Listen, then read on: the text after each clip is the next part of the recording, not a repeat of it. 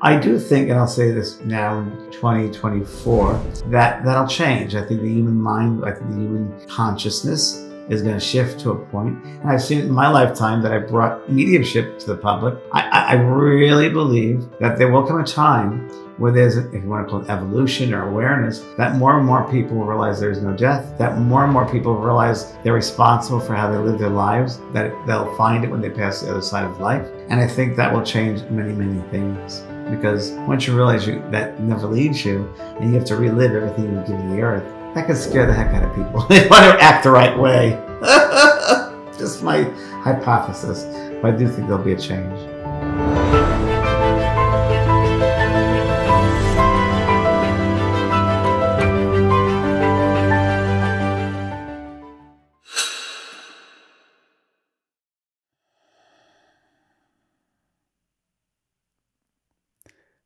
James Van Praagh, welcome back on Just Tap In, brother.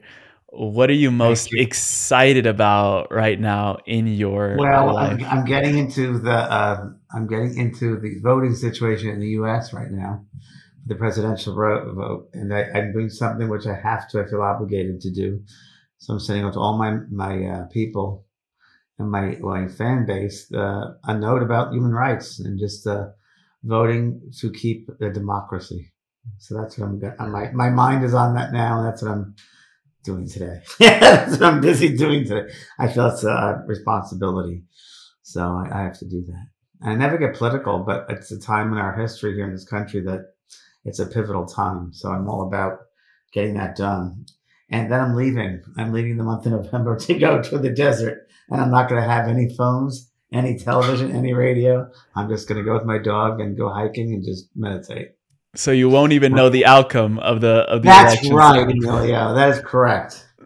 Because either it'll be crazy either way. I just want to be open and just want to just center myself, ground myself, and just get away from the fury and the phonetic energy and all that. Because it's not, you know, just take some time to heal with myself and to. And I rarely do that. I do. I work a lot. You know, I work like you, like you, because I think as light workers, we come back to work and our light working doesn't stop. I think in all different ways, we, we bring light and love to everyone we meet and uh, every moment of the day. If we are aware to see that God light in every person and to, I, you know, can I just jump in or if you don't mind jumping around? Yesterday, I, I have student calls in my school, my JVP School of Mystical Arts, and we just uh, are starting a tarot card course, really in depth spiritual tarot card course. And it's really interesting. The same thing comes up in many of my phone calls with my students and my podcasts I do that, you know, we're all, we're all God, we're all that divinity. And I think part of the, at least for me, uh, part of my teaching needs to remind people that we're all God, we're all that divinity, that divineness, and that we really have a responsibility as light workers to hmm, recognize that God, that light in everyone, and, and treat them accordingly every day. Because I always say every day there's an opportunity. Uh, you have a teacher or a student every single day who comes upon your path. And I think it's up to us to recognize that, to be open to that. But I also think it's important that we recognize that we're all connected as one, and that light, that divine light, is the same in everyone. Just their life experiences, lifetime experiences may be different, but they can always teach you, and you can teach them. Mm-hmm. You opened up talking about the human rights, which is beautiful. Uh, uh, going a little bit deeper into that, do you feel that the human rights and the soul rights are the same? And what would be those soul rights? No, I think they're a little different because I think that the human, this earth world, this I think the earth is a school for the soul, of course, to take on the human robe, right? Take on the conditions of humanism. And humanism is a very different space than soul. Soul takes on that humanism to have those experiences for whatever, uh, 10 years, uh, just being born, maybe 10 years, 20 years, 80 years, 100 years, to have even experiences in order to grow, to understand the diversity, to understand the various degrees of um, levels of souls. There might be some souls that are baby souls that have never come back here before and don't understand that love is the way it should be, and they live in fear and they live in power and with money and if they control people. That's unevolved. And, you know, spirit people said to me once many, many years ago, I might have mentioned this in our first podcast, that the earth world, some, an audience member asked me a question and they said, what is the spiritual level that the earth is on? Are we evolved here? And my guys got started snickering and they said, um, the earth world is, is like a, sea, a, a, a grain of sand on the beach. That's how expansive it is. And they said it's one of the most unevolved places because we still have war. We still don't understand that we're killing each other. We, we still have greed and that power thing. And it's very unevolved. And we come back here because it gives us, because we have souls of all different levels of being, with, with baby souls, advanced souls, middle souls, um, it gives us opportunities because those various differences in the levels of awareness and evolution of each soul. It forces different scenarios to happen, or people behave a certain way. And it really gives us opportunities to learn and to grow and to behave differently or to change people's, uh, open up people's minds to a new way of looking at things. And, uh, yeah, that's what I think it is. And so soul rights, I think, you know, we can talk about soul rights, but soul rights to me is just being able to be who you are, and then and, and uh, no one should ever condemn anybody for their soul right as far as if a soul chooses a certain religion, let's say, which is very different than spirituality as far as I'm concerned. But if someone is different as far as a religious belief system, or they come from a different country or have a different skin color, speak a different language, I think it's uh, our, we have a right. That soul has a right to live the way they want to live and, believe they want to believe, and we have to acknowledge that, and we got to um, um, really celebrate that and to uh, acknowledge it and to live with that, bring it in and honor it. I think that's really what's missing in our earth, in this earth world. We don't honor differences. We push them away. And it's so in fear based because fear is really um, not being able to control others. Fear is someone not the same. That's fear, which is fear is only an element of this human world, this earth world. It's not of the spirit. Spirit is pure love. And we're trying to bring love down to this earth. But earth is very much that separation of the divine. And I think a lot of people have come back here, a lot of souls come back here to learn about their, their divine self, loving themselves, self awareness, loving who they are, not who they're supposed to be. See, and it's such a great illusion here. And if people had an awareness of that, I think things might be a little bit different hmm. down here. Yeah, you mentioned about the baby souls, maybe middle school souls, postgraduate souls that would come incarnate here on earth. Do you feel like now, with the times that we're living in, may there be more postgraduate souls coming into the planet because of where the planet is at? 100%, 110%. I, I know there are. I know there are. Uh, I do. Although, I, I got to say, and of course, I don't know it all either. And I think things are very hidden I do. I do think there'll be World War Three. I think that's on its verge right now, on a verge of World War Three, no doubt about it. I think that this is a schoolroom to learn different things from. And I think history does repeat itself. If we don't get it right the first time, we're to have to get it right the second time, or we keep on repeating. So look at the war. We keep on repeating.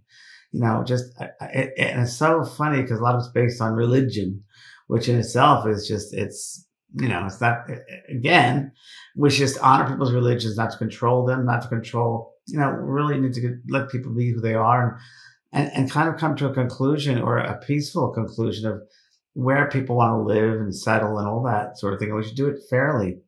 Um, but there's so much of that power, that manpower, that human thing that they get caught up with.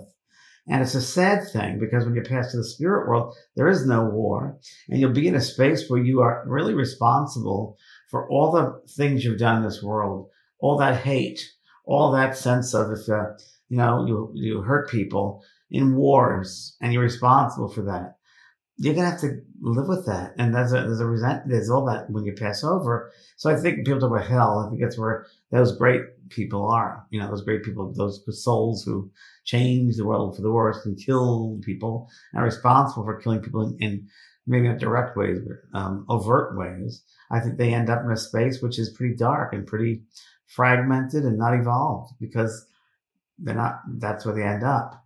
I think they're going to be, eh, eh, you know, hell to me is not fire and brimstone. Hell is living with circumstances that you created when you were in the physical body, and that, that you have to live and learn by that. And that's, I, I think that's what that is. If more people, Emilio, knew that at the end of their lives, that there was a life review and you're going to relive everything you've done to another person or every thought you ever had or action you ever had. Because all of our thoughts are, are, are really in the auric field, you know, different fragments and colors and shapes. And when you pass over, you'll see another person. You don't speak with them physically.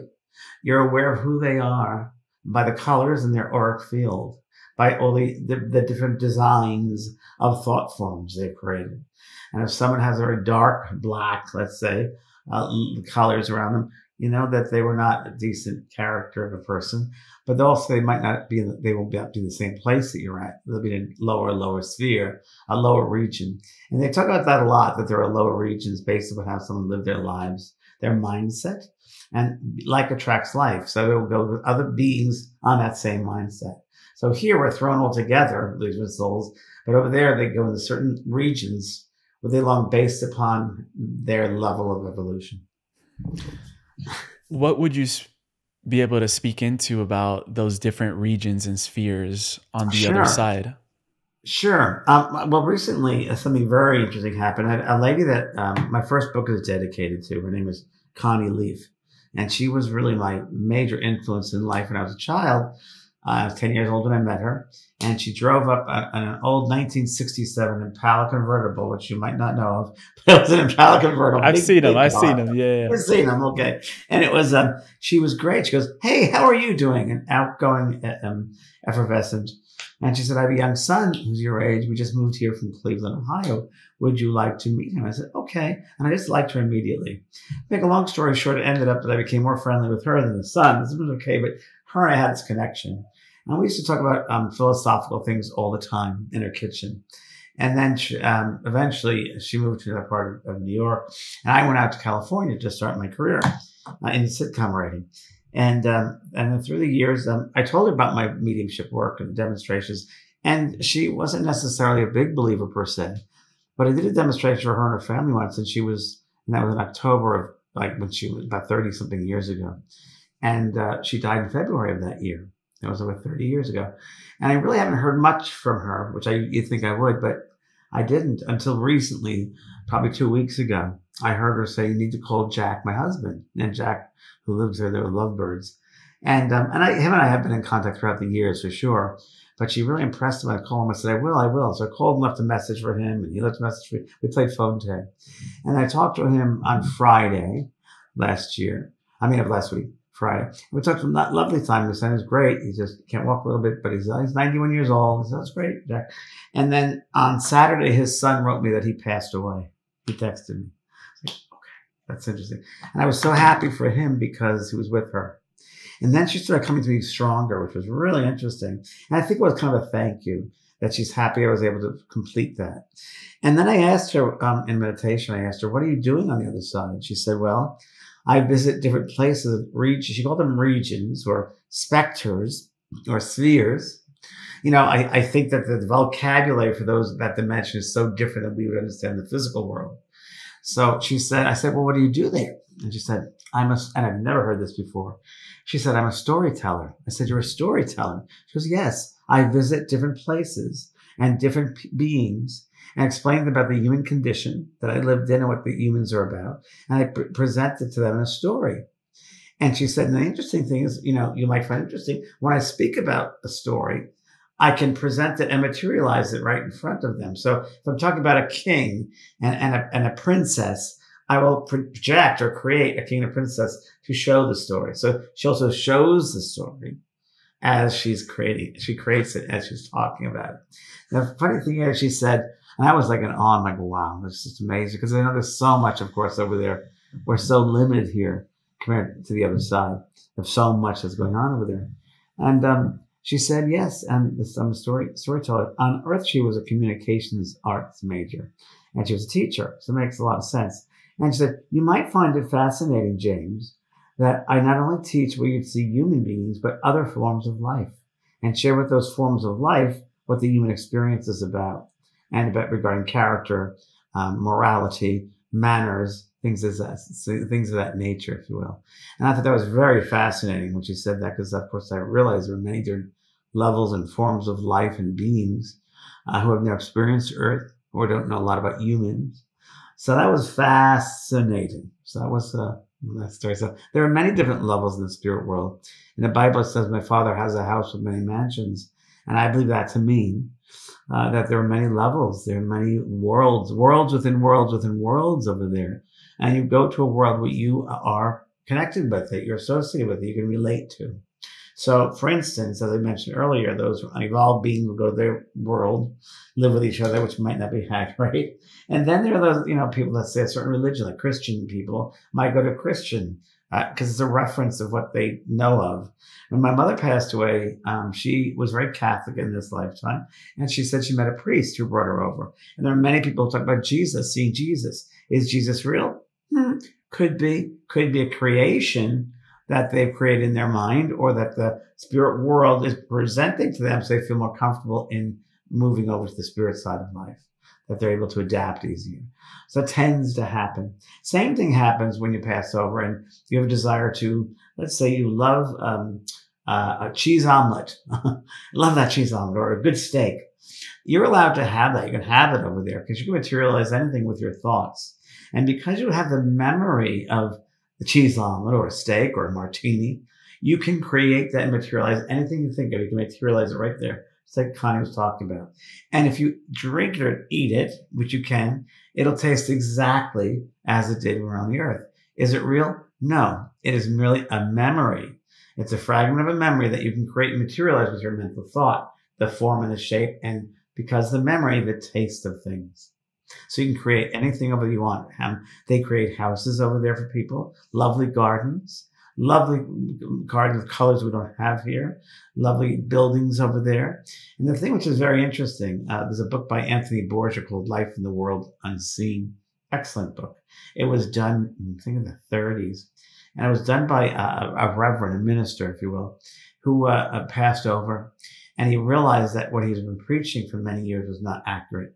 He felt so guilty that he found a medium in England and he went through that medium. I think it was in a trance state and described exactly what it was like there. It was very different than his religion.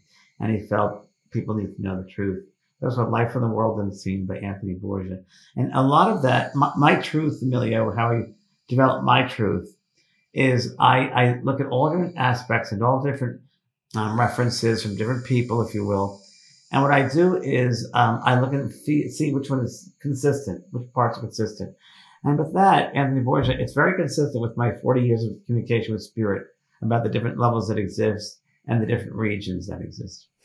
You're like cross referencing with other mediums to, you know, create a puzzle of a story. The last time and, and books that I read and, and yeah, and old documents from, um, you know, England and early American spiritualism. And, and I'm able to pick out, it's very interesting. I, I and this is true, you know, of every single, uh, I believe experience, whether it's when, when you're learning something. So for my students in mediumship, I say, you know, learn as much as you can from many mediums and read as many books, but I want you personally to pick out what resonates as truth in your heart. So if I say something that doesn't resonate, then don't take it. But if you read something that does feel right to you, no matter what, it's food for your soul. It's something for you that you recognize that you can digest. And I think that's the way it is. Yeah. Food for the soul. I love that. And food for the soul. The last time we were here, we went into this process about the soul leaving the body, the life review, the adjustment period. But then we also alluded to that there's this sort of like second death where we let That's go right. of our attachments to physical reality right. and we go That's on right. to do all our soul's work. So That's right. Let's get into now the second part of the death process. Perfect. Okay. So there are some people that come to me and they say, you know, I haven't heard from my mother in so many years, or you know, whoever it might be, boyfriend or a partner, child, whatever. And um, I say, well, there are a number of factors involved, but the main factor is that once they become adaptable to their new environment, and again, that can be that they get, it's very interesting that the majority of people that pass over at the beginning tend to go to the mother's house. Now, that sounds really weird, but the spirit people have created a house that that soul would remember as a childhood down to the minute detail, like um, a teacup, the teacups, the uh, items in the kitchen, the items in the living room, and it looks exactly like their house when they grew up. And they do that because they want them to feel very comfortable with their change. Okay, they feel much more at home, if you will. Um, a lot of people wake up in a hospital setting, not really like our hospitals, open aired, a space where they gain more prana, more life force. Uh, and they can, they wake up that, especially if that's a long disease, if you will, that drain the body of the prana.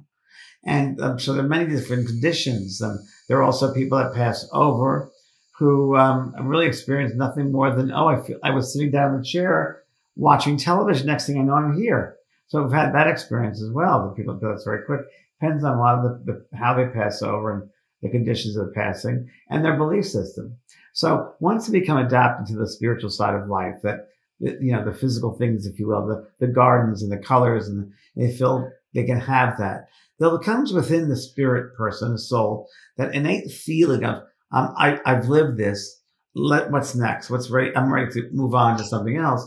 It's it's almost like living out. It's living fully out your sense of desire of appetite, food, drink, physical things. You you burn, and I write about this in my books. You burn out that desire.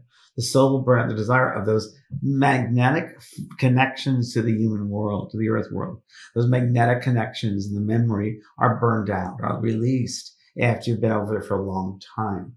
Now, it's the same thing, if you will, that if you come back to this, when we come back to the earth as babies, babies and young toddlers have just come from the spirit world. So their mindset is of spirit and they know how to do the spirit. They use their imagination. They're free. They're innocent. They express themselves until the age around five, six, seven, when they get start getting programmed by the adults, the teachers, the parents. You got to behave a certain way. And when they get into this whole thing about, oh, I got to be a certain way in order to receive love from that person, because I do think that's what really comes down to. Unconsciously, they might think I need more love, and I want to help that person love me, and I want to love them. So the, the so that has changed. So think about that when you first pass over. You have the human world in your mindset, and and the mind is the soul. The soul is the mind. So after they've lived out that um, um that, those feelings, those desires of the lower of the lower mind, I'm going to call it of the human part of us then they're able to um, they have a desire, or or in a while that they'll meet with their guides, the committees, and they will see um, what is number one. They might go back to school. I know a lot of spirits that will go back to school to study things they're unable to study here. They might want to play a musical instrument. They're able to do that over there. Maybe they want to be an artist and they get to paint over there. They get to learn that. They go to different schools over there. They can do everything they desire um, that they have not finished here. Many times, young kids, I find, not all, but there are some that want to finish university or high school, university. They have those spaces over there that they're able to um, complete their education. It's a obviously different type of education, but it's about a certain subject you'd find on earth if they want to study it. Then, like my father, when he passed over, he loved history. He wanted to find out more about history. Now, in the spirit world, you can go meet Napoleon. You can go meet George Washington. You can go meet great Joan of Arc. You can go meet great beings, uh, Socrates. Who would you meet on the other side? Who would I meet on the other side? Um, well, I've already spoken, spoken to some. Um, you know, I've, I've spoken to Einstein. Um, I, I, I want to speak to some, some great composers, I think, some great artists. I think that's what I want to speak to. Um, and that's, that's, that's, and, and, that's it. I mean, that's, um, that's, that's it. I, because with me, I just want to, I've always been one that is a natural detective, a natural investigator. Um, let me close my door for one second, if you. Yeah. Yeah. Noise here. Hmm. So I, I, I don't know. With me, it's um, I always want to learn. Always. Um, you know, I, I don't know where I end up. My, like my friends that show storytelling, I'd like to visit all different life forms. I'd love that. I'd love, I'd like to go. Fun, some funny thing is when I was a kid. It's really funny, but I've always liked, like, best people what plants they like. Well, this is one, this is one galaxy out of millions of galaxies. Millions of galaxies. They're all different places. And whatever your heart desires to experience, you can have. So, um, many of my friends, many people I know who I've known personally who passed over. Like my mother helps young women who come over. There are beings that go over there who are um, drug addicts. Let's say they died of an overdose. Many of them will help other beings cross over who also have that the condition. because they understand, it makes sense because they understand that condition. So it would be better to help someone pass over than those who went through that experience. So there's a lot of that. Uh, I once did a reading for some uh, audience member, and a soul, a man came through, and I said, "Oh, he was a soldier." She goes, "Yes, because he's saluting, and there are those behind him that are saluting, but also." He said something to me, and, he completed suicide, which is interesting. So it was, and, and that's a whole other thing. But um, she, he said to me something very interesting. He said, uh, "Our brothers and sisters of the earth who are military have made a vow to take care of others, and they continue doing that no matter what. So when someone passes over, there's always a military that help them over, which I thought was fascinating.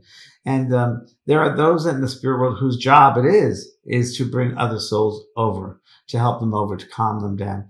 Um, you know, I, I think the more someone is aware of spirituality, of the other worlds, that the other worlds exist, that they're not, there's no death. I think it's much, much easier for the, their passing. But if someone who's a skeptic, someone who's very cynical, someone who doesn't have any belief system whatsoever, and agnostic, um, they'll be pretty surprised when they get over there. It might be a shock to their system, but they'll soon see relatives that they knew and they'll understand that there is no death eventually and they'll say, wow, it feels like a dream. And I describe it as a dream. So there are all different jobs and careers over there. And we tend to do that as well in the in between state of when we fall asleep. Our soul goes to the other side and we meet our guides. We go to school. We prepare for, we will prepare for a new physical experience on the earth, have, prepare for whatever that might be. And many times when it does happen on the earth, they feel like, oh, I have deja vu. I feel like I've done this before. It's because in the spirit form, you've been preparing for it. So that, that happens quite a bit too. So all different types of jobs, missions, if you will. Um, I know when I'm, and I'm talking a lot, sorry, I'm very obviously passionate. Um, I know that when I'm teaching a class for a workshop, I, the students will say often, I had a dream about you last night. And I said, well, that is because we meet in the astral world. We don't just stop here in the physical world. When we sleep at night, we all go to the other side, and I continue classes, classes over there. Happens all the time. So there are many places over there where the people are learning. It's all about learning and continued learning. And they take the learning and they also put it into action form. And they, we can say they put it in action form, like my friend talked about the storytelling, but also it could be an, an action form that they choose that like um, that, that let's say a mother passes over and she doesn't feel she did enough for her daughter when she was alive, or a father didn't feel he loved couldn't express his love to his daughter or son, he might or she might become a guide of theirs and try to influence them in positive ways to take care of them and look after them they weren't able to do it in the physical, but they would do it in the spiritual. So they'll help take care of them, infuse them with different ideas and inspirations and ways of thinking, ways of doing things, or of love. Happens quite a bit. Hmm. Yeah, so. yeah, beautiful. And you said before that people blocked by the emotion of grief block out the spirit where the spirit can't get through to them. What would you say about healing a grieving heart. Okay. Um, and I wrote a book called Grieving, Healing a Grieving Heart. I wrote a book with that title. Um, it really is, we always remember that the soul is a mind, the mind is a soul. And I often say for, for us, the physical human world to comprehend that. Let's say it's an open space. It's all around us a space, let's say. And that of space could be a big bubble, right? And, and then our thoughts are reflected in those spaces. Our thoughts that we have are, are created and live in the fields around us. And those thoughts can be different colors and shapes. And the more positive we are, the lighter the colors, the more um, depressed or down is grays or blacks, darker and, and more dense. And when we think of someone in the spirit place, someone who's passed over, and we're obsessed with, oh my God, they passed, and I'm really in grief, I just can't go on. There is a mindset that blocks, of course, sets up that block in the, in the space. So it's not easy for the spirit people to get through a wall. See, and they've set up that wall. And the stronger it gets with their grief, grief, grief, grief, grief, it builds that space. Now, of course, the spirit knows and they've been guided by his, uh, by their guides and told that and instructed that your human loved one will have a uh, experience called grief and they will miss the physicalness of you. They'll miss the emotional part of you. They'll miss you, mentals. They'll miss that. And they will hold on to that like a belief system, if you will. And it is hard, very hard then to get through to them. sometimes, sometimes very beginning, they're open and there are little openings before they build up that construct of the total grief wall. There are um, openings, and usually it's early on, like when they first pass over, they can go come back to them very quickly. During the funeral service, they can come back very quickly. The memorial service, they can, slip in because that that that I don't know how to put this to you. That wall hasn't solidly built yet. There's still some fragments, so it's able they're able to get in easier. I've seen that happen. Uh, and dreams, the number one way that spirits communicate, and they will usually use the dreams right away to get in.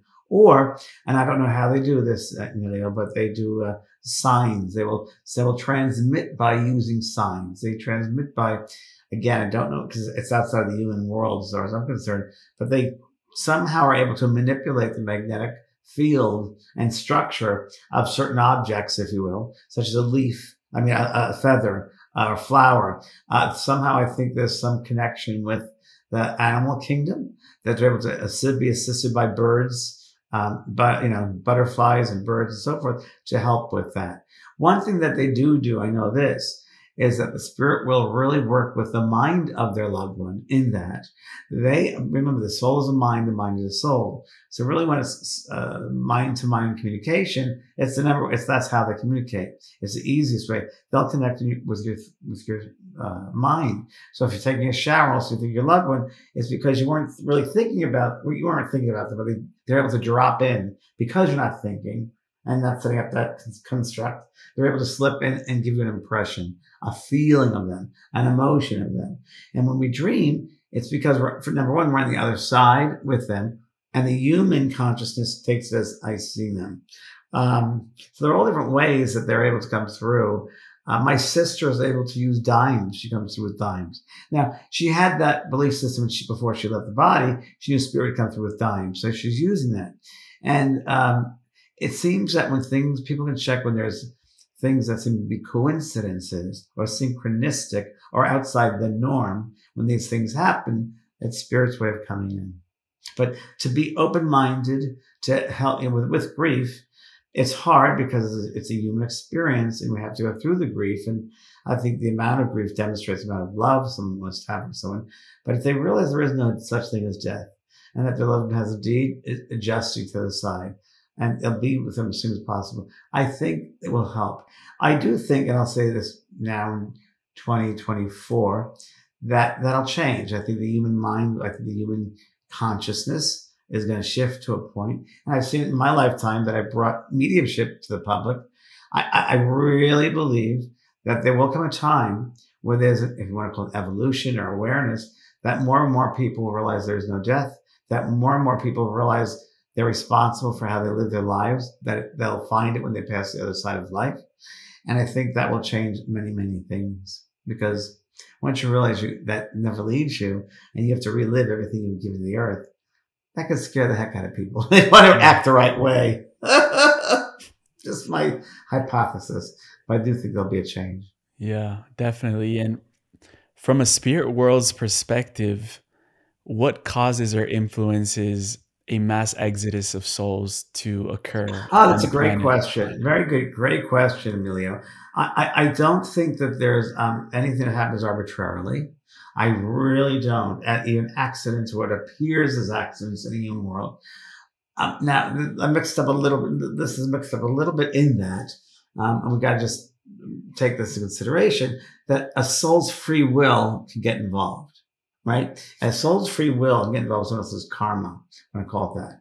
So let's say, I use this example a lot. If someone goes, and it's getting dated these days, but if you go to an ATM machine to get some money and someone takes a gun and holds them up and takes their money, that could be their free will, the, the Robert's free will affecting that other person. And then they have a karmic connection. So I don't know certain things are karmic, but when waves of souls go through an experience, whether it was World War II, those souls, or souls going through it now, or, or all different types of um, floods or disasters and so forth. I do think that those souls, remember, before we come back on this earth, there's a curriculum that we sign up for. There's a curriculum, there's a game plan, if you will, of all the lessons we're going to be taking. Hopefully we can pass them. And it might be that um, some of those, some, I, World War II, I think a lot of this was because I was very much involved with the Nazi Germany thing and being my 50 my relatives passed there and and I know I, am fascinated with the German things. I, I just am. I, I'm not sure side I was on, but either way, I think there are waves of souls that come in to make change. Waves of souls come in. Whatever the circumstances, hopefully it'll create a change on the earth. So hopefully, like since I'm talking about human rights today, this change of, of, of Nazi Germany, you know, the millions and millions and millions of people that were were got, gotten done, done in, gas or whatever, shot, killed. Um, those, I believe that those souls chose to have that experience from a spiritual point of view. They said, well, and I, and I really believe they were very advanced souls that went through that. I just do. I think the hardest lessons are for the advanced souls. I just do. And by doing that, they will hopefully change the consciousness, the awareness of earth, of human beings, not treating each other that way. And that's been working for the past, what, uh, for 60 years or more, uh, 70. But now it back to the old ways again. And it's settled down and we're at a crisis now with the U.S. with their, you know, situation could be very similar. And so we got to be very mindful of, of that. And that's why I'm going to talk about it today in my own social media. What would be the higher purpose of a possible World War III? Well, I, I do think there will be World War III. And I think it's, again, we're unevolved here. We're just so unevolved. So there's got to be situations played out that there are, are obviously unevolved beings of souls who are still into the power and the greed and want to control, right? And and that would be, um, in a way, I, I think good is always going to win over bad, but I think sometimes you got to go through those dramatic, hard things like war and famine and poverty and so forth to teach people that's not the right way to do it. That's not the right way. You think we'd have learned it by now. We think we'd have learned it by now, but um, I, I, just think that's what it is. It's, it's teaching people in those, unfortunately, those adverse ways uh, that, that, that, to learn about human, about compassion, about kindness, about forgiveness. It's a hard one. In some ways, we got to go through the extremes in order for it to be realized and looked at. And, um, you know, just like a hurricanes we had in the U.S. recently, you know, it was devastating. People had lost their lives, but the community came together and it showed that when people come together, they can create wonderful things. That's a small scale compared to war. Know, war is a whole other, other thing. But I, I do believe that, um, I do believe in some ways it's a mixture of souls that have chosen to go through the waves of souls and that there are waves, and there are some souls that are kind of someone else's free will got involved in that. I do believe that. Um, but, you know, when you realize there is no such thing as death and, and no one can ever die, there's no death. Um, but you know, again, it's all different levels of souls and awareness. I mean, even the young man that said, "I'm met by the military," you know, for him, that's his reality. That's his world. And for the people that are saved, that are rescuing or bringing him over in the military, that's their world. For me personally, I don't believe in that. I know I lived in wars, went through wars. I heard uh, about two months ago, I heard, you know, you've always chosen to come back during wartime. And I'm like, huh? It's like, wow. And that makes sense to me because I know I was a general in many wars. But now even the thought of a gun, I freak out. I can't look at a gun. Any violence, I have a hard time with. So I've learned that one. I've learned that one, that war is not the one, well, not the right answer. So a new soul is different. And again, these things I say to you are, is only a small piece of it because I won't know the rest till I pass over the 75%. I can give you little, little bits of it, but more of it's the awareness on the other side of you know, I'm, I'm telling you things um, three, in the three dimensional world, properties of a seventh dimension don't necessarily work, and laws of a seventh dimension don't necessarily work for a three dimensional world. So we only get little tidbits of things. A little glimpse of the the whole puzzle. but one thing we should always be aware of is that the strongest uh, force uh, that lives throughout is that love. Love is the force that really uh, lives lives throughout. You know, and I do think there are no accidents. I do think there are um, coincidences, if you will. Um, I just, I, I just do. um, yeah. So that's that. Why do you feel that? This... I want to show you something, if you don't mind. Oh yeah, for sure. I was, you know, yesterday when we're, um, talking about coincidence, I think things happen every day if we're open, if we're open minded, that there's that space once again, the moment of grieving, but in life, if you live a life where you're open minded and you're not predisposed, or you're not, you know, so much in control, oh, gotta happen this way, gotta happen. And that's ridiculous. It's a waste of energy because no one's ever in control. Really, we're, we're never control. We could, we can't control other people. We can't control situations. We just can control how we respond to things. So anyway, I'm open-minded every day to an experience and to say, Spirit, use me any way you want today. Show me things I need to know. And yesterday, I'm driving around and um, I went to my um, a, a, workout, my gym workout, and it was a little early. So before I did that, I went to a uh, business park across the street. I'm like, huh? And it says Spiritual Institute of Metaphysics, and I'm like, that's very weird. I've lived here ten years and I've never seen it. And they were showing me things there. Um, they like let's say posters and this was one I thought, wow, I relate to this. Hmm. You see that? Maybe zoom out a little bit, bring it a little bit closer to your face.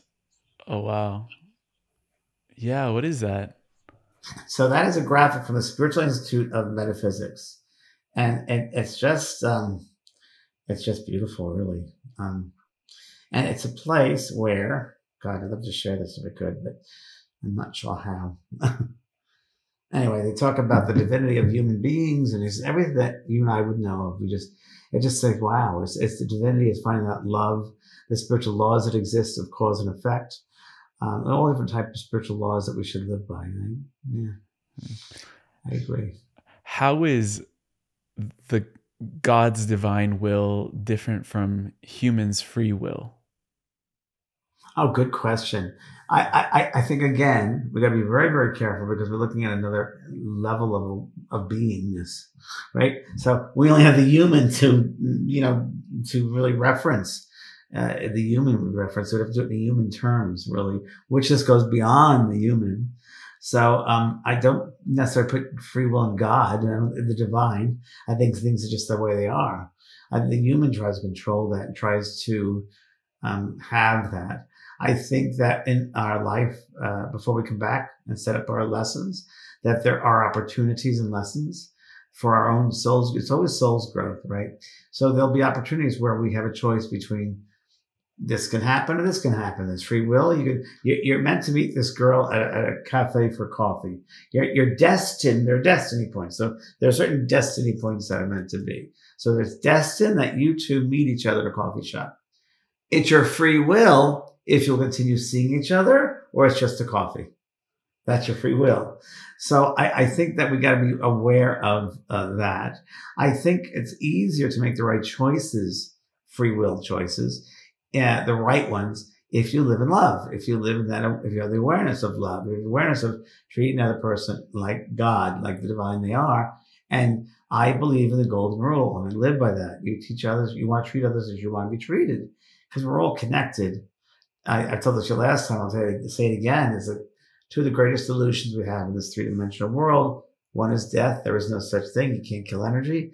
And the other is a separativeness. We feel separate from one another. When in reality, when you pass out of this dimension, it goes, oh wow, we're all connected. We're all part of that big, you know, uh, kaleidoscope, if you will, or a snowflake. We're just different fragments of the snowflake, but it's all one.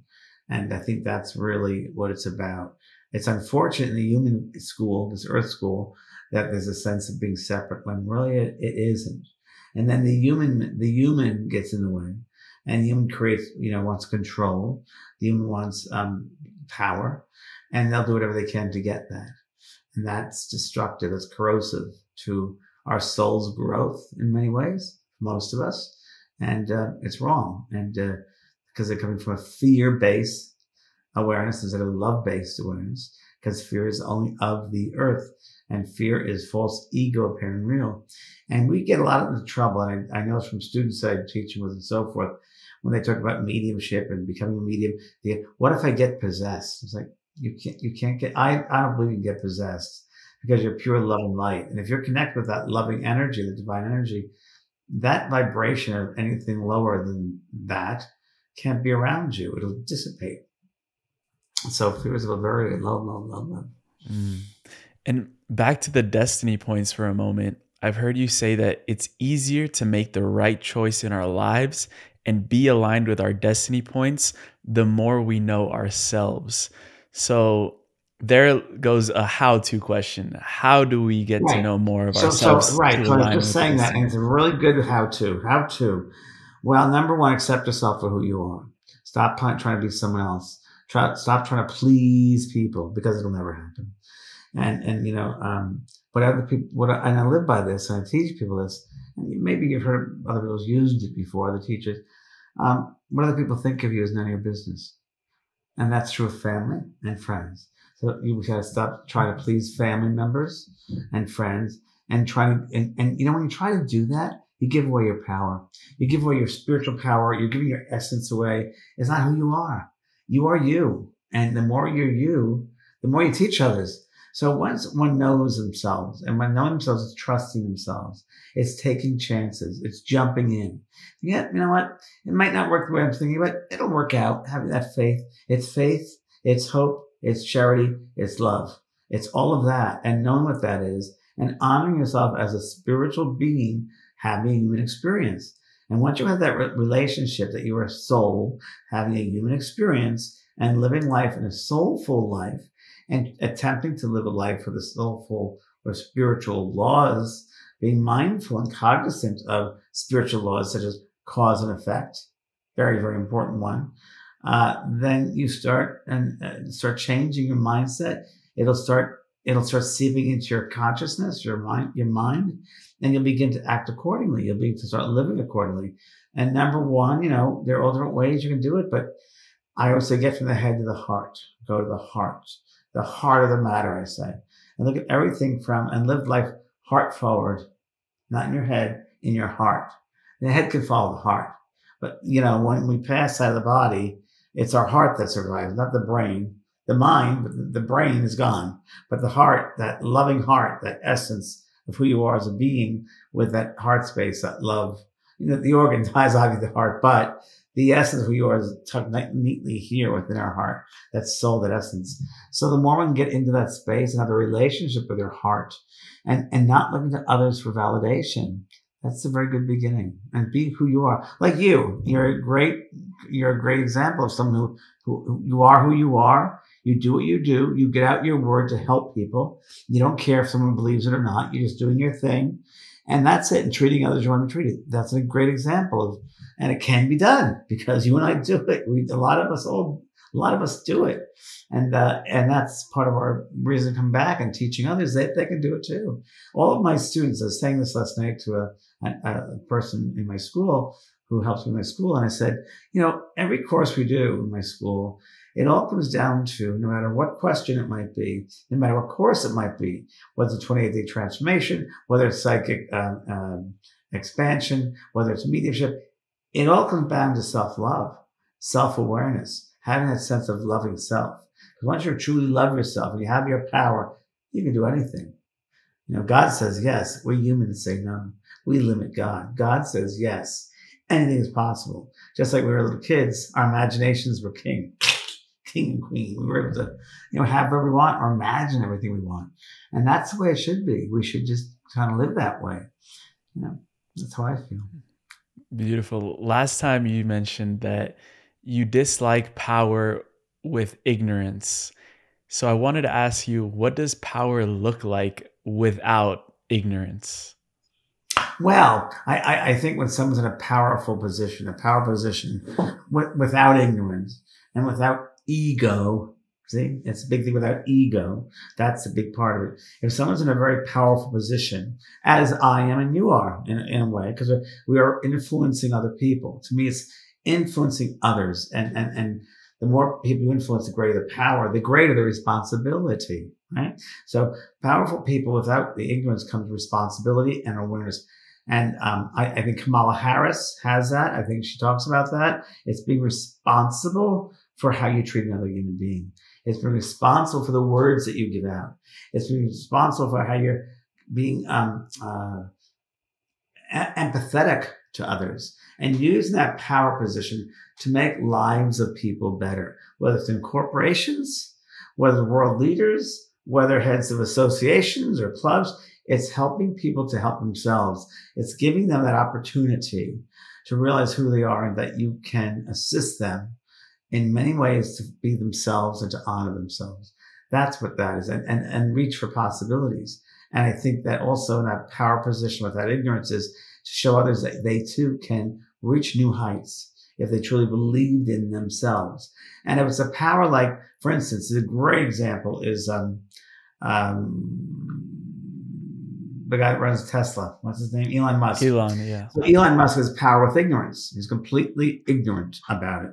So he has a great power. Power comes responsibility, money, big responsibility, because it's the energy. It's how you use that energy with money. So he's not using it per se. He's just using it for himself and his own ego, right? Not to make the world a better place, but to create his own fantasies of cars and spaceships and all that. I think that's I, you know, it might become the guise of, oh, we're evolving. Mm, I don't get that. I don't feel that with this person. And Trump, the same thing. I don't feel that with him. I think he's just self-involved and is authoritative. He wants to be a dictator and really doesn't care about people. He just wants to get in, into the White House or go to jail. That's what I believe. And, and that's, that's power with ignorance, complete ignorance and mental illness, really. And I think that's really a shame. I think that, but we have to learn from that, right? We have to learn that this is not the right thing to do. It's not the right thing to do. It's not morally right. There's no morality there.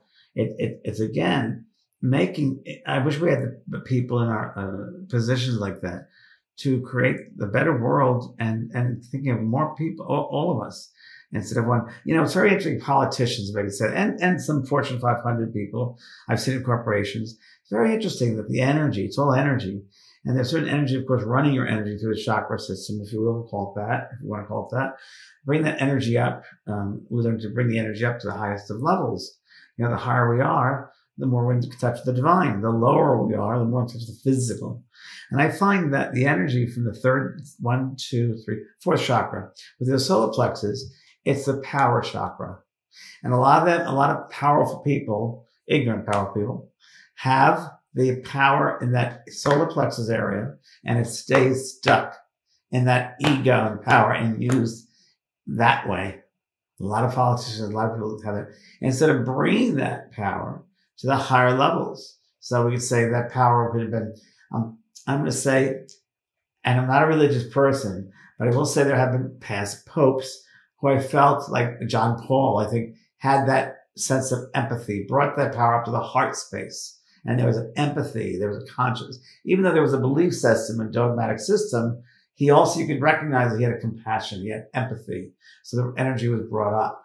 The same Sister Teresa, uh, you know, with Gandhi, um, some great, great minds like Einstein, very powerful, right? But yet use that to a higher level to inspire. Great philosophers are like that. They use that to a higher level. So great artists, you see.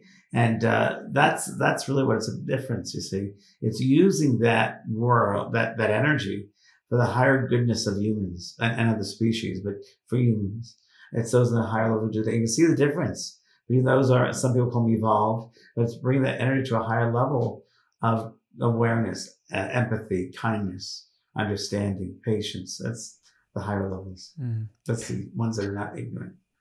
Yeah, beautiful. I, I wanted to ask you there why do you feel that these upcoming U.S. elections are like nothing we've ever seen before? Well, I think it's a tipping point. I think that people have been really, um, uh, uh, you know, World War II started with fear, and the scapegoats were the Jews because oh, the banks run by Jews made that whole this whole thing blaming, fear based, fear based. I think there's been so much fear in, imbued into this country uh, through Trump and through his colleagues and just and fake news and all that misinformation stuff. It's like, what's going on here? That we forgot the humanness. We forgot how we can hold to each other and love each other instead of spouting out fear and craziness. And that, and I, I again, I go back to it's learning. It's learning. It's understanding that this won't work. This is not the right way. It's, it's love is the only way to do it, not fear.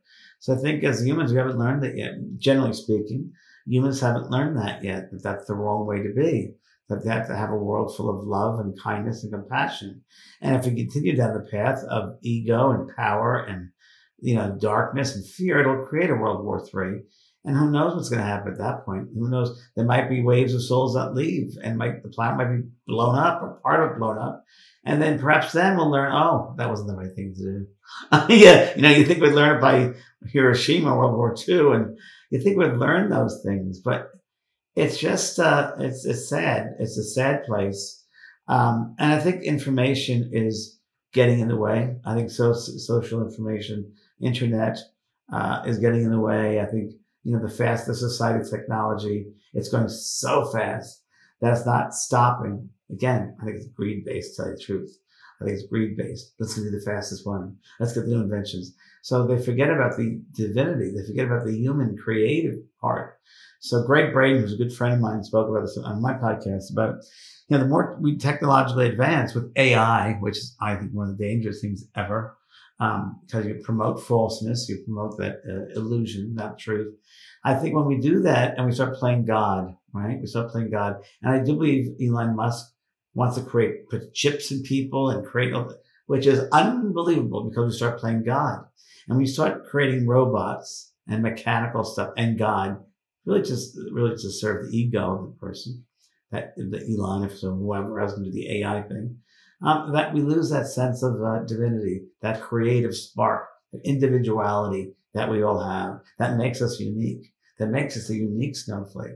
And that's the problem. Because if we lose that creativity of the divine, we really lose our sense of who we are down here. And uh, Gregg was saying it's a war between good and evil. You know, I say, well, that, but it is. It's it's good and evil. It's it's dark and light. And I think, like I said earlier, are there more light workers? I think definitely there are more light workers. And I, and I wouldn't be surprised um, if other beings and other life forms from other uh, other galaxies will come in and, and intercede because the you I've heard this somewhere. I've, I've, read it and heard about it. I don't know if I believe it, but it was presented is that you know if the Earth does something to itself, it'll throw off the entire cell satellite, the whole system, the, the whole system we're living, in, the solar system we're living in, and other solar systems. So I don't think they would allow that. There's, there's a certain order that wouldn't be allowed. It would be, you know, UFOs or what you want to call them now, or other life forms would get in, intercede. And I would hope that be true. I would hope that be true that they're stopping us say humans and then grow up. Come on, let's do a different way. But we'll we'll see what happens. But all we can do for now is to bring love and shareness and, and open people's minds and hearts to truth about light and love and understanding and empathy and kindness. We need to spread kindness. Hmm. What do you feel it would take for humanity to be ready to have that open contact with extraterrestrial beings and being able to see more UFOs and here and there? Well, number one, we have to take the governments to accept it and share because this is not threatening. It's just the opposite of threatening. But you know, that, I think they've been around forever, and um, I mean, I've seen them myself many times. I've seen when I was developing my mediumship, light beings, other beings, some call them, um, you know, uh, aliens, would come into the development circle And never was a afraid. It was the opposite. I felt the most incredible love. I was once uh, in Sedona, Arizona, and I was um, with a group of people there to go see UFOs because they live a copper mine, copper fields in, below the earth. They like the, the copper, foot. they need that. Anyway, so um, after we meditated, it took us to meditate to raise our vibration. And, and, because I'm not sure I told you this last time, but it's a good one. Um, and I remember that we, we raised our vibration by meditating. And I remember then we started seeing colors in the sky, lights, objects, and they looked kind of like TV antennas at a studio. That's sort of the closest thing I can tell you they look like. And the gentleman that was working with the group said, you know, if you want, uh, they're here. And I said, I, I know. And he goes, can you get communication? And I did. I walked out to a field and I completely opened myself up. And I, I, I said, welcome. And they came into my mind. And I felt immediately that they were dumbing themselves down that they really go to slow vibration in order to, to go with the human. It's so dense that it really go down. And they said, we do not, we are from the Pleiades and we do not understand one thing. You human beings have the energy of love all around you, yet you don't use it. Why is that? And it's really true. So I think that we need to have a, a relationship with ourselves of loving ourselves, feeling we're worthy, then having that relationship you know, evolve and, and feeling connected to everybody else. and, and, and being open to this fact that we're just not the only ones that survive, that there, we have to open up our, our perceptions that we are indeed part of a vast, vast, vast, vast, vast world within worlds within worlds. And there are many life forms. And that is all done in love, not, not fear. It's love. Again, fear is only the human world, the human vibration. It's not any other dimension. And, and so I think we need to raise ourselves up to that level of awareness and love in order to be interactive, uh, aware of those beings. Another thing that happened, I love to talk, don't I? Another thing that happened, Emilio. I, I love it. A, okay. I was having a party at, uh, someone threw me a party for my, I had a TV show back in the 2000s, TV show, a talk show, and they um, threw me a big party in a Hollywood club. And it was the corner of Hollywood Boulevard and La Brea Avenue big club there. And we, they took it over for like two or three hours and it rent, rented it out. Was like 200 people. And there was an indoor area to dance and there was an indoor patio. So at one point we're all in the patio and I had two other friends there. One friend, um, that uh, was a healer who was in the corner over talking to someone else. And another friend who was a medium, also a healer in the other side of the room, in the outside patio. And I was in the other corner. And all of a sudden I look up, just looked up and I see a ship I see a big, big ship. And it was, I was underneath the ship and all these lights underneath it and panels. And I'm like, ah, and immediately the two other people, I, we all locked eyes with each other.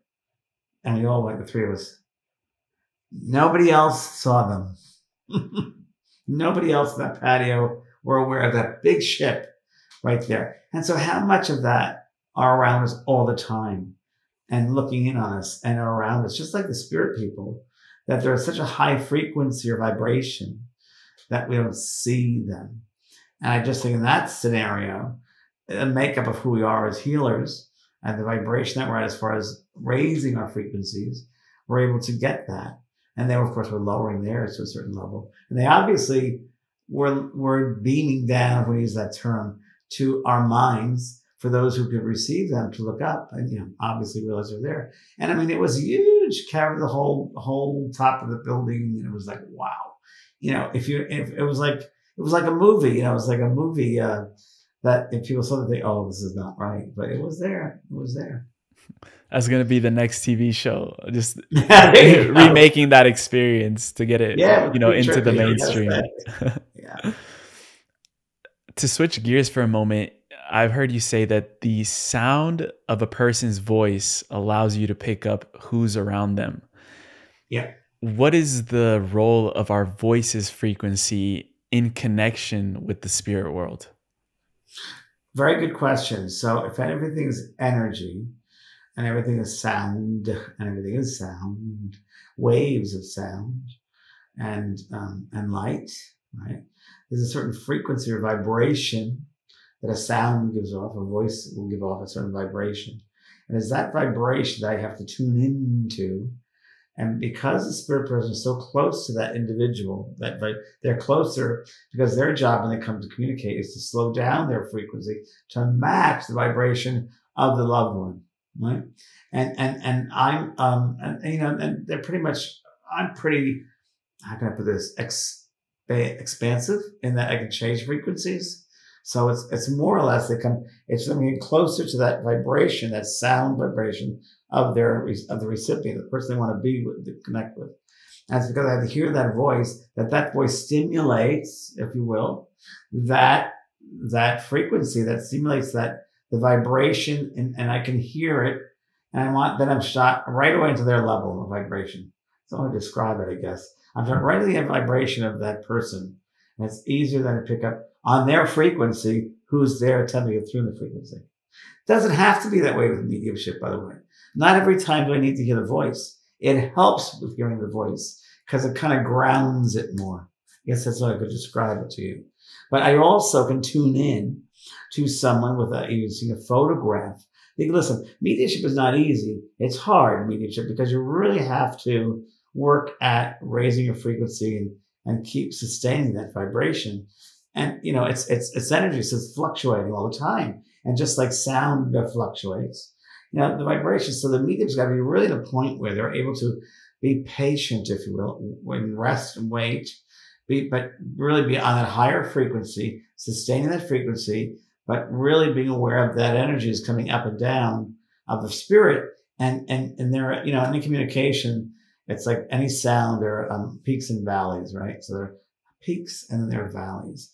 And the peaks, when you really hear something really strongly, but then all of a sudden they have to, the energy goes down there and they, and you have to wait a little bit. And that's the hard part with medium, be developing mediums. They don't know about the pauses. They don't know about those valleys. those valleys are very important because number one, it gives a spirit a moment to readjust their vibration. It gives a medium time to take a break, break in their mind to, to rest, to receive the next vibration.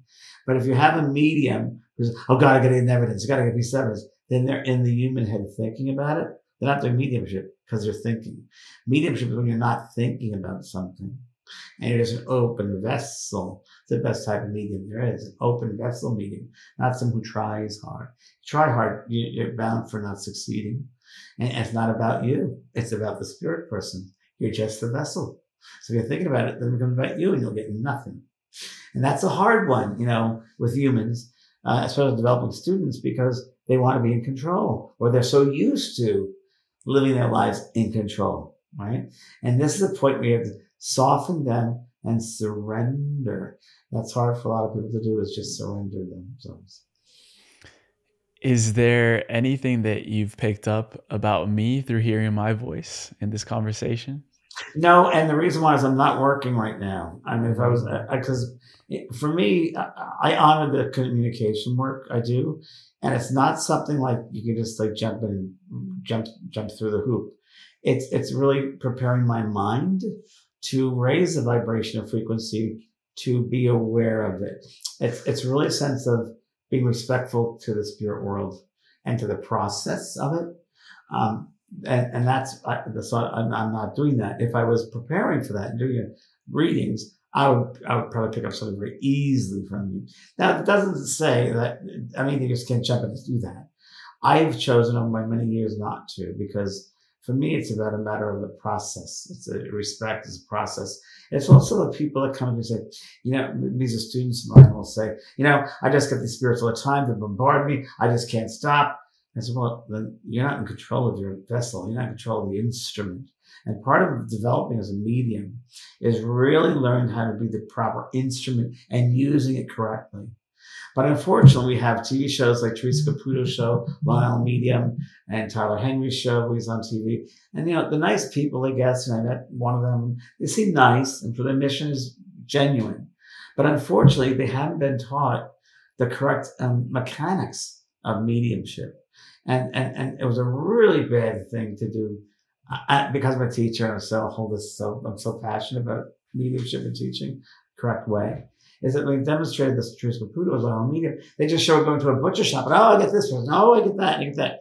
Not that they can't, but if a medium is not working properly and they're always open like that, um, it's it's very it's very harmful. It's very much like a, a ceiling fan that the motor is always turned on and eventually they'll burn out.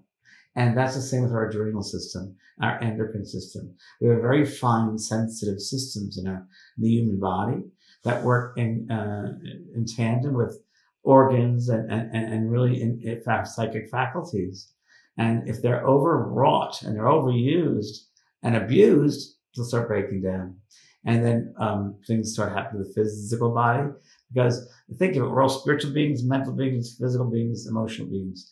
While spirit beings, if you start working on the spiritual side and you break down the physical when you do the spirit, it'll all start crumbling. And I've seen many, many people that have passed away of diseases that were, I believe, caused by improper use of the adrenal system or endocrine system. That's a beautiful, beautiful segue into how do you avoid getting into a lower frequency and burning out your adrenal system? Oh, that's because I, I, I believe everything is moderation. So when I first started doing mediumship 40 years ago, I was very excited about it. And excitement is okay. And passion is okay. But just like in any job in life, everything needs to be in balance. Everything needs to be in moderation. You can't do one thing. You got to just do balance. Otherwise, it's going to affect you. It's going to affect your health. And uh, that's really, really important. Even somebody drinks all the time or you know, uh, it, or does drugs or, or is in a bad relationship, a codependent relationship with someone over and over again. They bring someone bad. It's going to affect them. Um, everything's about to be in moderation. So I, and it's hard at the beginning. Uh, you learned and evolved over time? Um, the energy I want around me.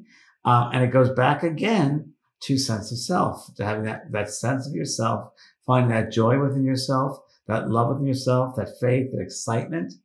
I've always had a life of excitement. I think I came in that way. I came in with a sense of awareness of who I was. I, I, I always did. I mean, as a kid, I could see spirit. I knew colors around people. I saw them. Not everybody could do that, but that's who I am, and that's who I was. And I've always been able to laugh at myself, which is a gift. Um, I've always found the joy in things. I even in a pessimistic world many times, or and I'm a human. You know, part of the human condition is going through the ups and downs. That's part of it. So we all can't be saints down here because we're gonna have some things that really piss us off sometimes. That's okay because we're human. It's part of the human experience. But in overall, just a sense of self and a sense of you know, balance it to me is a key in everything in life. I've lived that way. Uh, and uh, I, I think it helps quite a bit. Hmm. James, and the last time we chatted, when I asked you what you were excited about, you said that you're excited about that light bulb moment with your students when you're teaching. And I wanted to ask you, when was the last time you had that light bulb moment go off in your head about something that you were pondering over in your life? Well, um, a couple of times. Yesterday I had it when I, am I'm doing a tarot card course right now. It's just uh, being um, started right now. People can buy it right now. Like my JVP School of Mystical Arts, they can buy it. And we've been doing like these free webinars and, and seminars on, online and, and reading the cards, which I, I'm not an expert tarot card reader, but my associate who's working with me, Liz, is. And she's taught me all these like little ways of looking at the cards. And she teaches students about this, that the different symbols. And they're like, oh, that's so incredible. These little symbols are on those cards and that'll open up your intuition. So it's reading those cards intuitively. And that is a great one. That was like, wow, I never thought about that before. oh my gosh, that's great. And then um, the other thing was, and it's just my own thing, was for years I was um, you know, thinking about uh, what book should I write next.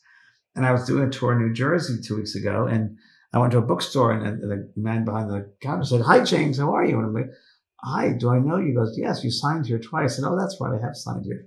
He goes, "People keep on asking me about your books. You're going to come into a book." And I'm thinking, mm, "Well, yeah, you're the third person that's kind of asked me, and I need to think of a book to do." And nothing has really hit me in that I need to, that I want to, because for me, in order to create something, no matter it's a TV show or a book or a piece of art or a garden it's got to mean something from my heart, right? It's got to come from genuineness and heart, heartfelt. So um, I'm coming up with the next book. I'm starting a new book in January, and it's going to be my autobiography. Oh, so what's that was like aha. what's one story? You know, you don't have to give us the whole autobiography. But well, I, I, really haven't started thinking about it. It's got you know, I guess the cover of it, which is very interesting. I'm going to incorporate um, many of the readings of it for celebrities, so they're very interesting, and, and really get that sense of that um, celebrity is a celebrity here, but not in the spirit world. So, for instance, Audrey Meadows came to me once. She was a good fr- friend of mine. I was like a client of mine, and I helped her pass over, which was really interesting how that worked out. And she said, "I'll be there for you." And she came to you last year. I was I was very ill with uh, COVID, really ill, and I'm lying and thinking, "Okay, take me away." And she showed up right behind me and she said, "James, it's not your time." And Audrey Meadows won a show called The Honeymooners. So she was a, in case you don't know, Emilio, was a very famous sitcom in the 50s and early 60s. And she was a client. And she said, It's not your time now. I'm like, okay. And I said, so, oh, what do you do? What do you do in this? She goes, well, you know, it, I'm not that character on television. None of us are. We're our true essence when we pass over. And she goes, I took that character on for comedy, for sitcom, in order to heal people through comedy, which I think many healers, um, com- comedians are healers. I really, really do. Um, so yeah, that, that was a, a pretty wild. Talking about that experience. I'm going to talk about, um, just weird synchronistic experiences in my life, how I got started with mediumship in a very weird, strange way that I wanted to be a sitcom writer. And I drove to California. I was promised a job from a big producer. And I got to California and he, he lied to me or didn't tell me the full truth. And, um, but if he hadn't, I might not be doing what I'm doing. So it's in that way, that weird, strange way that things happen. And I think a lot of people will be able to relate to that, how things happen in such a uh, strange, uh, strange, odd way, but it really all makes sense in the end. It, it's kind of like they have their, the spirit world has their own way of helping us go around and around and in and out, but it means something. Everything means something. So I want to talk about that in the book too. Everything means something. We don't understand at the moment, but it means something later on. And I'll give many examples of that. Beautiful. Well, you know how much I respect you, and I'm definitely going to be reading your autobiography. So that's going to be yeah, such a beautiful you. thing. We end every show as we did last time with a segment called the Final Trio. Um, but before that, you mentioned some upcoming projects. Where else can people connect with you and anything you you have going on in your world? Sure. The, the Tarot Card course is a really great one right now. Mediumship 2 is happening. So it's the JVP School of Mystical Arts.com. That's the best way to get in touch with me. The JVP School of Mystical Arts.com. And then I have a website, which is vanpraagh.com. And I will be doing some readings soon, um, do small seances for 10 people just 10 people. And um, it's my way of practicing, keeping it going, you know, sharpening the pencil and also helping people. So I decided to do more of those. that i'll start next next month. I'll be doing that. So that's on vanpraagh.com. You'll be able to find that. And also the school, JVP School of Mystical Arts. And that's that's what I'm doing right now before the book. We'll link everything in the show notes. And for the Thank final you. trio, here's another synchronicity because one of them was I was gonna ask you. I I'm I'm asking you, what is the latest, greatest synchronicity that you've experienced in your life? Oh wow. okay. Um, I told you about. Um, well, let's see. So weird. Um, wow. Um, well, the, the, I guess the thing I, I, told you earlier, I think the story about Connie and Jack. Yeah. So, so Connie was the lady that helped raise me, and she came to me for came for a week, like saying you need to call Jack, and I did. And he passed away, and then two days later, his son called and said, "My dad just passed." That's pretty weird. That's really a coincidence. Or another one of I was just talking about someone, and I went down the wrong street, went into the store, and there that person was. Mm. That was another great one. Yeah. So They're all around us, aren't they? They're all around us. We just pay attention. So coincidence is God's way of remaining anonymous. And since we're all God, what is your God light going to show you today? Or, or you think about somebody, and they, of course, obviously it's very intuitive. They, they call you or they appear in your place. How many times have we heard, I just was thinking about you. So that happens. That happens every day to me. And, you know, you just have, and once in a while, that happens three or four times a day that happens. I, I am going to put that on my whiteboard coincidence is God's way of remaining anonymous. So yeah. good, so good. the second question I have uh, for the final trio is what is the most advanced lesson that we are meant to learn on earth? Well, I think it comes back from what I was speaking about earlier with um, the, the Pleiades beings who said you have the energy of love all around you, yet you don't use it. So I think a lesson is that we need to find that divinity within ourselves first. Don't look at it outside for yourself. You don't need churches and religion. You don't need that. You can get community there, but stay away from dogmatic, ways of being because you're fitting into their mold. Everybody has their own mold and it's unique. So I think we come back and learn about loving ourselves. That's really what people should be aware of. Honoring who you are, self-awareness, love. Your life will change. You start doing that. And then, then seeing that divine light in every other person. That's the next thing that we come back here to learn is to learn to love one another. And wherever there is darkness or hate or fear, illuminate it with love and light and kindness and compassion. That's, that's it. Mm, illuminate it. I love that. Mm-hmm. And, and, also with illuminate comes emanation. what does that emanation, mean? Emanation is emanation of light, light that shines. It's it's in, in, emanations is coming out of emanating light. So it's very funny, Emilio. I was um, when I was in my tour, I had a I think I had a beer somewhere. I had a beer at a pub. I felt like a beer. Don't ask. I felt like a beer. Oh, I have another good coincidence story. I'm gonna get to. I'm sorry, I'm going go backwards. But the the thing was, I was looking at this beer and I'm like, how can I, I imagine spirit, but I want to be able to tell people the, the kind of light that I see or awareness. And I was looking at this beer and it was the effervescence of the bubbles, those little bubbles. Like, that's what I see. Those are like lights, like bubbling like that. That's the closest thing. Another really good coincidence, I got to say this one. This is a really good one. It's happened on my tour. I was, um, when you do a demonstration, which is me talking to spirit in, in an audience, um, you keep your mind open as a medium, but keep your mind open to whatever the spirit world wants to impress you with. So I kept my mind open during the day because my event was at night. And I, I went by a steakhouse and I thought, I want a steak. Now I'm not a big steak person, but I, haven't had a steak in a long time. I, I want to stop and have a steak for some reason. I did. I went to this Western type restaurant, had a steak, and I wait for a couple hours, and that was fun. The lady was very busy, and it was fun. I had a good time. But I'm looking around this Western restaurant. There's some lovely paintings and sculptures, and for some reason, I felt compelled to go take a picture of one of these, one of these um, pictures. that I can actually, I can show you the, the, painting that I, I took a picture of because it'll add to a little bit of the drama of this whole mm. thing here. Yeah, so it is. Let's see.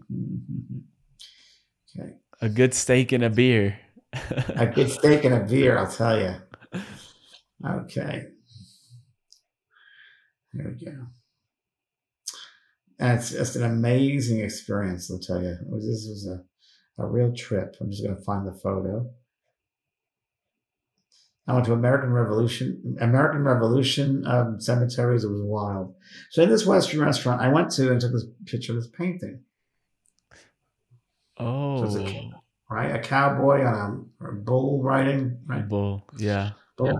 So uh, during the demonstration, I said, and there's a coincidence as far as spirit impressing me, but I said, there's a man here. He passed away. I was picking up. He passed away at 48 years old. He was a I, I, he was a cowboy. He rode horses and bulls. And a lady, a lady, I'm looking in the audience, and I'm thinking, oh, she was just like my sister Linda passed over.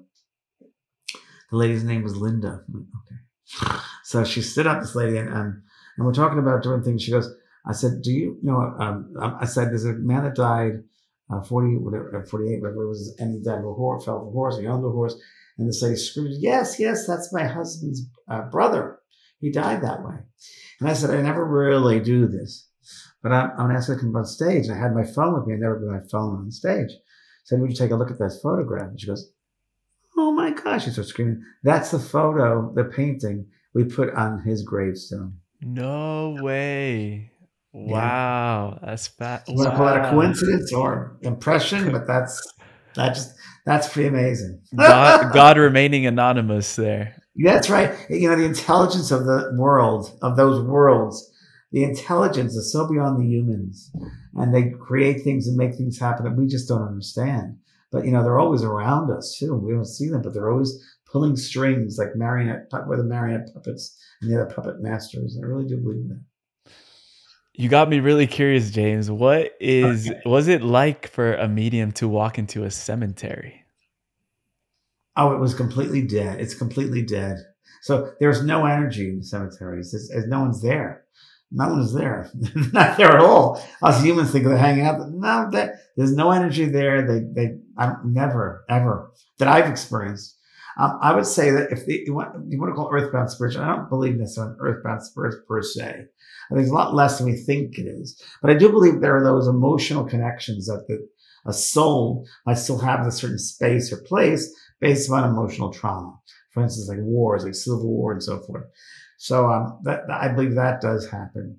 But the, the scariest places, if people say that, or where you'll find those spirits that are still locked into fear, if you will, kind of I don't call it earthbound, but closer to the earth, if you will, are those are living that fear vibration of the earth. And you'll find that where? Well, where it's most fearful. So most dentist offices are haunted and most airports are haunted. Uh, like the Denver airport. I've heard some stuff about that. oh yeah, it's haunted because they, they use they, they siphon off fear energy from people. That's how they sustain themselves close to this vibration which is really interesting. And I was, that's the story of this, which is very interesting. I was in um, Nashville and I was at the Nashville airport. And I remember the, uh, there was this gentleman and it was a spirit. And he was walking back and forth. I see him walking around the airport. He didn't realize I could see him. And he had like a black page boy haircut and dark black glasses and walking around with a suit. I don't know who this guy is, but I know he's a spirit. I'm like, I'm not going to, I, just don't want him to see me. And I just like, but I was aware of him. I get on my airplane. There he is in the plane. I'm like, oh shoot. So he's walking up down the aisle. And this lady sits next to me, and she's a beautiful, like blonde lady, beautiful woman from Nashville. She's flying to LA. And we got through talking, and she was really, really lovely. And I kept on seeing the man go up the aisle, and then a couple times I was standing up to the front looking at it. So I'm like, oh, geez. And I spoke to this lady, and it was Roy Orbison's wife. And the man was Roy Orbison. He was a very famous rock and roll singer who had passed. And that was his wife I was talking to. Isn't that interesting? Oh, so that was the man you were seeing. Yes. Oh. Now, is he uh, if is he earthbound? I don't think so. But he was so close to the earth because he wanted to get to her. He wanted to know that you know. And I said to her at one point, I think she mentioned her husband Orbison. She said, "Well, you know, he's always around you." That's all I said. I didn't mention who I was or anything like that. I don't want to get that conversation started. And my job really was to say, you know, he's always around. Mm, beautiful. yeah. James, and the final question I have for you today is what does your higher self and your soul teachers want to address for humanity right now? Um, well, I, I, I think it's to make the world a better place. And again, that starts with human rights and treating one another with love and, and finding the true nature of each other, which is love. I think that's really, and you know, I, I say this, I mean, I, this saying, it's a good saying, and, people should use it and put it on your whiteboard and use it. Um, that every day on our path, we are have teachers and students who come upon our path. And our job is to recognize that, who's teaching us and who we are to teach and it's working with love. So who's teaching that, that different aspect of love? And whether that's to being hurt in a relationship or something else, it's an aspect of love, all the types of love. Can you love someone without conditioning, without conditions? Can you forgive someone without conditions, knowing that that's the loving thing to do? It's the right thing to do. Uh, and also you're going to be the student learning about, you know, learning about receiving and, um, you know, so we're student teachers every day and it's all about love, learning how to use love. And now, time more than ever on this earth vibration is to use love, utilize love every single day. That's it's more important now than ever because of the way the world is right now. Mm. My brother, James Van. I needed this conversation more than you know, and I know it is going to be medicine for a lot of people. And it's always a pleasure to see you, to talk to you. Thank you, Emilio. I can't Thank wait to do much. this again. Love, lovely. Love to see you. Thank you very much.